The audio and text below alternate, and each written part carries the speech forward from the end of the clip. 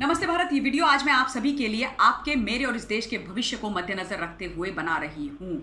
आज बात होगी मोदी जी की जो कैबिनेट है, उसके विस्तारीकरण के बारे में, उसकी जो ओवरहॉलिंग हुई है, उसकी में, उसके अंदर बहुत सारी चीज़ें फेरबदल हुई हैं, उसके बारे में बात करूँगी। निवेदन, वीडियो को अंत तक देखिएगा, क्योंकि ये वीडियो आज आपके आपके आने वाली पीढ़ियों के और इस देश के भविष्य के लिए बहुत इंपॉर्टेंट है। आपको ये जानना बहुत ज़रूरी है कि हमारे देश में राजनीतिक तौर पर आज की सरकार क्या क्या कर रही है मोदी जी क्या क्या कर रहे हैं।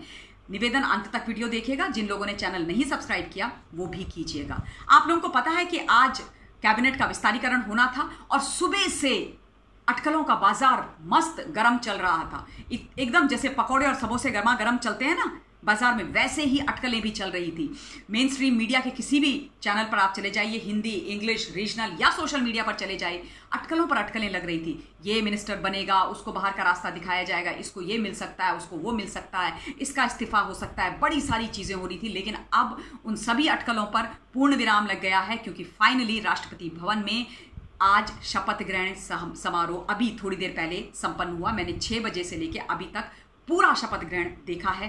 तैतालीस लोगों ने, तैतालीस जो मेंबर ऑफ़ पार्लियामेंट रहे हैं, उन्होंने शपथ आज एमओएस एंड कैबिनेट मिनिस्टर्स के तौर पर ले ली है। 12 रेजिग्नेशन भी हुए हैं। 12 मंत्रियों की विदाई भी हुई है। इसमें बड़े हैवी वेट मिनिस्टर्स हैं। बहुत बड़े बड़े मैं आपको बता देती हूँ, जो हमारे सूचना एवं प्रसारण मंत्री प्रकाश जावड़ेकर जी, उनका रिजाइन हुआ उनका रिजाइन हुआ है। आईटी मिनिस्टर रविशंकर प्रसाद का रिजाइन हुआ है। दो तो ऐसी मिनिस्ट्री हैं जिनकी कंप्लीट ओवरहॉलिंग हो गई है। एक हेल्थ और दूसरा एजुकेशन शिक्षा मंत्रालय और स्वास्थ्य मंत्रालय। दोनों जगह से, दोनों जगह के कैबिनेट मिनिस्टर और एमओएस दोनों को ही हटा दिया गया है, दोनों को ही बदल दिया गया है। हर्षवर्धन जी, निशंक जी, दोनों की विदाई हुई है और उनके साथ साथ उनके एमओएस की भी हुई है। कारण आप सब लोग भी जानते हैं, हम सब लोग जानते हैं और कई इंटरनल मैटर्स भी होते हैं। अब जो विस्तारीकरण हुआ है, उस पर मैं आप लोगों से बात करना चाहती हूँ। तैतालीस लोग, तैतालीस में से बड़ा जो नंबर है या बड़ी जो बात है वो ये है कि 36 नए फेसेस हैं। 36 new faces have been inducted in this cabinet ये बहुत बड़ा नंबर है। इसमें से 11 महिलाएँ हैं। ये बहुत अच्छी बात है इंडिविजुअली बीइंग अ वुमन मुझे ये सुनकर के बहुत खुशी हुई है कि 11 महिलाओं को जगह दी गई है इस कैबिनेट के अंदर, जिसमें से 9 महिलाओं ने एमओएस के तौर पर शपथ ग्रहण करी और दो ने कैबिनेट मिनिस्टर के तौर पर शपथ ग्रहण करी है। मुझे ये जानकर बहुत खुशी हुई। उसके अलावा अदर बैकवर्ड क्लासेस को बहुत बड़ा रिप्रेजेंटेशन दिया गया है इस रीशफल के अंदर, इस ओवरहॉलिंग के अंदर। 27 मिनिस्टर ओबीसी कोटे से आए हैं नई कैबिनेट के अंदर, जो अगेन एक बहुत ही ऐतिहासिक निर्णय लिया है मोदी जी ने। ऐसा पहले कभी भी नहीं हुआ। ये बहुत बड़ा नंबर है। अब ये जो मंत्रियों की संख्या है, वो टोटल एनडीए की सरकार में हो जाती है 77 आज के शपथ ग्रहण के बाद जिसमें से तिहत्तर भारतीय जनता पार्टी के एमपीज हैं, चाहे लोकसभा या राज्यसभा के, और चार जो एमपी हैं, वो घटक दल से आए हुए हैं। और सबसे खूबसूरत बात यह है कि इस ओवरहॉलिंग के अंदर इस शपथ ग्रहण के अंदर या इस विस्तारीकरण के अंदर हर एक चीज़ को ध्यान में रखा गया है। शिक्षा को आपकी आपके आ, क्या कहते हैं महिलाओं को ओबीसी को और हर राज्य को हर एक व्यक्ति को कंप्लीट रिप्रेजेंटेशन देने की पूरी प्रयास की गई है। यानी कि बहुत अच्छी तरीके से ब्रेन किया गया है। बहुत सोच विचार के बाद ये विस्तारीकरण हुआ है।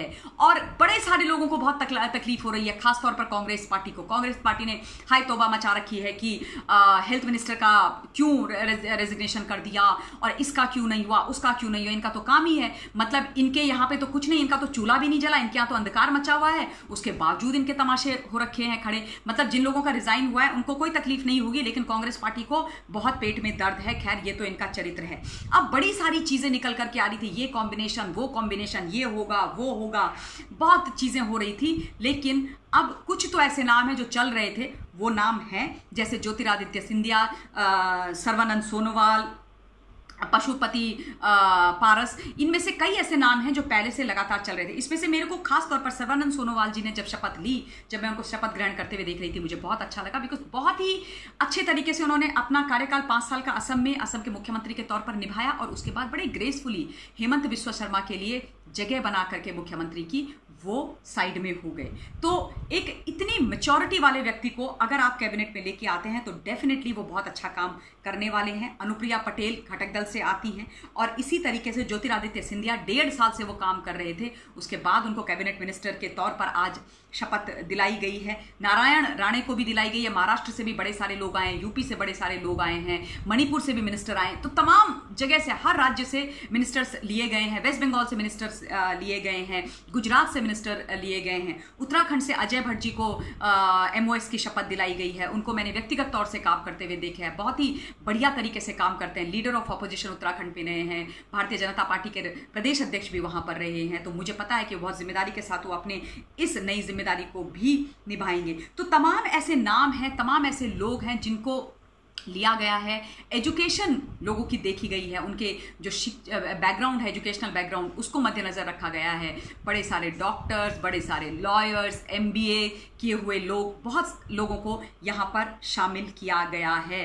पैंतीस वर्ष के जब वो युवा बियर्ड वाले शपथ ग्रहण कर रहे थे, सबसे अंत में उन्होंने ही करी, मुझे बड़ी खुशी हुई। और युवाओं को मैं ये बोलना चाहती हूँ कि अगर इस देश की दशा और दिशा बदलनी है तो आप लोग जिनका इंटरेस्ट है राजनीति में, उनको डेफिनेटली राजनीति को अपना प्रोफेशन मान करके उसमें पार्टिसिपेट ज़रूर करना चाहिए। क्योंकि जब आप नई एनर्जी के साथ जाओगे सिस्टम के अंदर नई एनर्जी नए आइडियाज़ इन्फ्यूज करोगे, तभी तो देश बदलेगा। खाली क्रिप मारने से या बात करने से कुछ नहीं होता है। ज़मीन पर काम करना या सिस्टम के अंदर रह करके सिस्टम को बदलना बहुत ज़रूरी होता है। तो ये बहुत सारी चीज़ें हैं जो नई हुई हैं, बहुत अच्छी हुई हैं।